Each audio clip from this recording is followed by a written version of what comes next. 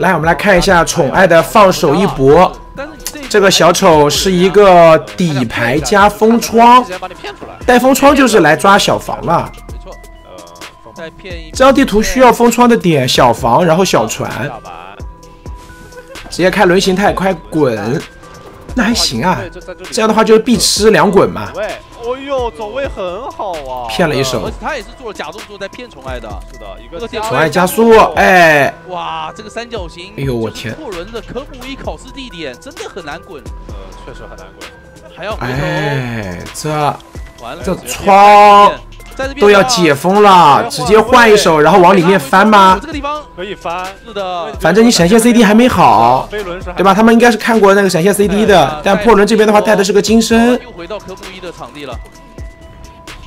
第一波换没换到，哦不，第一波那个滚没滚到东西，我天，完了！加速交的太着急了，没错，他其实要找一下角。飞轮一顶，板子一拍，啊，这样的话兴奋等于是没有啊，他这个兴奋就只能顶下一波了，顶下一波。换位，呃，还好有一个，好像是吃到了加速，吃到了夹子。拿到一刀，呃是，然后再回到。小木又要走过去把窗封上才能继续追。呃，这个一分二十多秒。小说家现在手里面小说没有，飞轮没有，窗一封滚上丢夹子完成击倒呢。你说这个局有没有的打呢？其实有的打，但是四抓面是真的很很微。没有定到啊？为什么这么讲呢？就是因为哎漂亮，感觉回来了，但他回来了，他有防闪吗？对对对，防闪防闪。这一波如果不回来不回来的话，应该是打不到这一招。是的。我觉得你把伞逼出来，你下一波不还？为什么这么说呢？因为啊，求生者这边打宠爱，他就一定不会贪。是这样的，他觉得他的牵制任务，他不会贪的。我不会说我要去跟你拼一个多啊，拼一个什么？他们知道自己队友是不完成四抓了，他们跑一个赢三分。那么他们一定会去优先考虑的是密码机，对吧？是是是是。那么当打出开门战的时候，他们发现破轮没有挽留。场上面留两个人或者留三个人，他们跑一个还是比较好处理的。下一波次了，下一波是，看一下莫内这边能不能撑出来，多拖一个一阶吧。哇，这个走位真的是。这把呢，这小说家走位也确实有点。要开兴奋了。哎，走位骗你下板子。他好像已经知道是兴奋了。没错。因为那个地方你都没有交闪，对对对对，他不想交。应该是判断出来了，确实这把的话，小说家毛内打的非常好，走位意识，他那波防闪呢，确实是让他倒地了，但是这个很正常。他现在就是这么打算的，他就想留到开门战了。我开门战逼你兴奋，那你现在的话，核心问题通缉的是。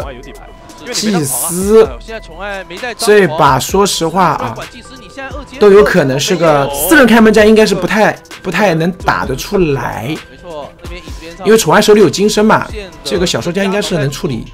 哎，不对不对不对不对，他这边不救人哇！这波守墓人反正你没二阶，对吧？你有二阶你也拦不住我，我救人，拖拖拖。大门小门的一个超长洞。这样的话，祭司连这个局都有可能是个四跑局。等会儿，没二阶啊，没二阶，第二根刺怎么上呀？一阶哦，上到了还行。看一下，得换位。换金身顶，那你开门战没技能。A 关打捏倒。对对对，OK。嗯，这波没有摸头啊，发挥了作用，但是因为机子差了一点。那三人开门战，三人开门战三跑可能性还是蛮高的。是有人贴上了，这想来。就这个局，宠爱的上限是个平局。